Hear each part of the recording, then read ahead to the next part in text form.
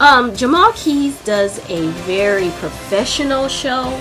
It's very entertaining. It is a very educational show. Also, the kids learn a lot from um, the tricks that he does and the information that he puts into his show. Um, they can take a lot away from it and um, get other kids encouraged to want to see uh, Jamahl Keyes perform.